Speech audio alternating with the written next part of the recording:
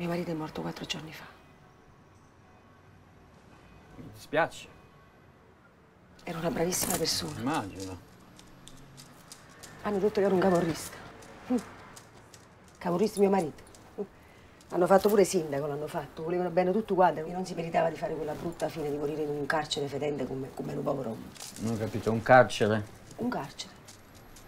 Ma che c'entro io, signora?